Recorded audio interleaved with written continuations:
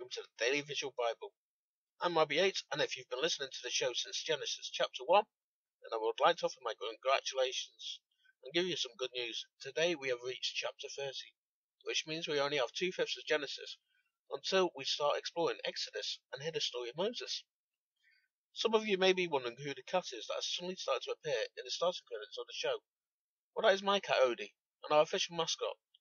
He was caught looking at the Bible as I left it open to check on some details this show. Well, the pictures just had to be taken. Anyway, be sure to check out our website at dailyvisualbible.co.uk, which has now become very active with our YouTube and Facebook links. Please be sure to subscribe. It's so easy to do, and I promise if I get 100 subscribers by the start of September, then I will produce a funny video that only my subscribers will get to see. If you wish to discuss anything in the show, or learn what many of the strange words I use in the reading mean, then please feel free to comment below, or if you prefer, you can contact us at dailyvisualbible at gmail.com. Now let's do the right thing and I'm God's word with prayer. Lord, I ask that as I read your word, you reveal something new to me. May I also ask that as people see and hear your word, they will come to a better understanding of you. Amen. Genesis chapter 30 and Rachel saw that she bore Jacob no children. Rachel envied her sister. She said to Jacob, Give me children, or else I will die.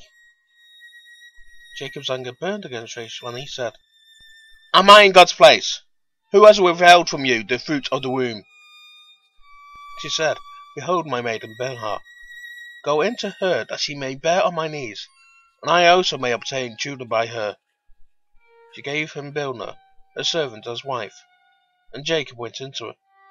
Bilhah conceived, and bore Jacob a son.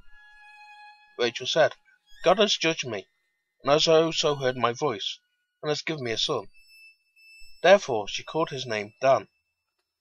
Bilhah, Rachel's servant, conceived again, and bore Jacob a second son. Rachel said, With mighty wrestling have I fought with my sister, and have prevailed. She named him Naphtali.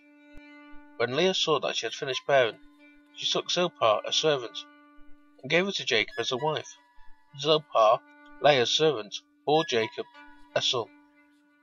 Leah said, How fortunate! She named him Gad. Zilpah, Leah's servant, bore Jacob a second son. Leah said, How happy am I! For the daughters will call me happy. She named him Asher. Reuben went in the days of wheat harvest, and found mandrakes in the field, brought them to his mother Leah. And Rachel said to Leah, Please give me some of your son's mandrakes. Leah said to her, Isn't it enough that you have taken away my husband? Do you take away my son's mandrakes also? Rachel said, Therefore he will lie with you tonight for your son's mandrakes. Jacob came from the field in the evening, and Leah went out to meet him and said, You must come in to me, for I have surely hired you with my son's mandrakes. He lay with her that night. God listened to Leah, and she conceived, and bore Jacob a fifth son. Leah said, God has given me my hire, because I gave my servant to my husband. She named him Issachar. Leah conceived again, and bore a sixth son to Jacob. Leah said, God has endowed me with a good dowry, and my husband will live with me because I have borne him six sons. She named him Zebulun. Afterwards she bore a daughter, named her Dinah. God remembered Rachel, and God listened to her, and opened her womb. She conceived, bore a son, and said, God has taken away my reproach.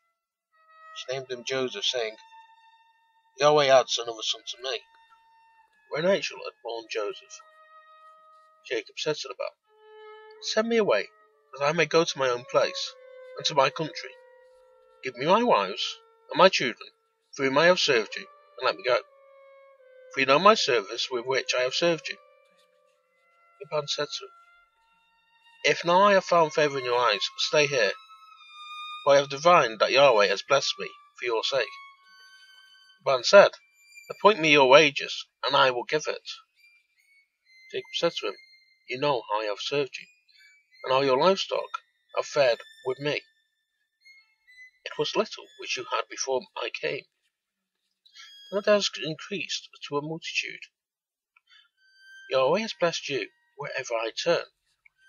Now when will I provide for my own house also? The man said, What shall I give you? Jacob said, You shall not give me anything.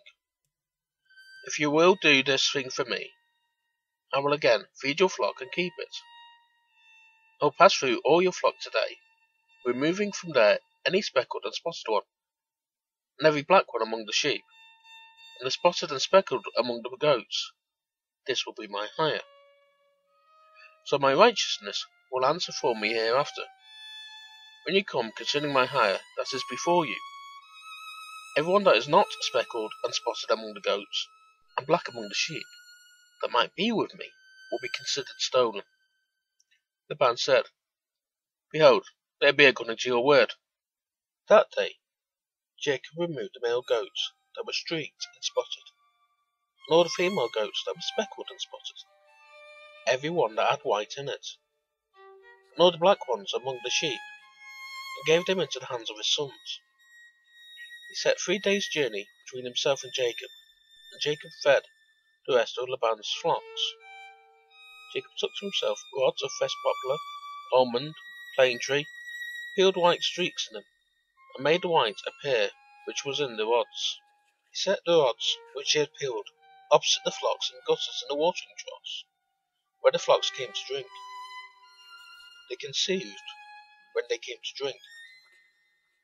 The flocks conceived before the rods, and the flocks produced streaked, speckled, and spotted. Jacob separated the lambs, and set the faces of the flocks towards the street, and all the black of the flock of Laban. And he put his own droves apart, and didn't put them into Laban's flock. Wherever the strongest of the flock conceived, Jacob laid the rods in front of the eyes of the flock in the gutters, that they might conceive among the rods. But when the flock were feeble, he didn't put them in.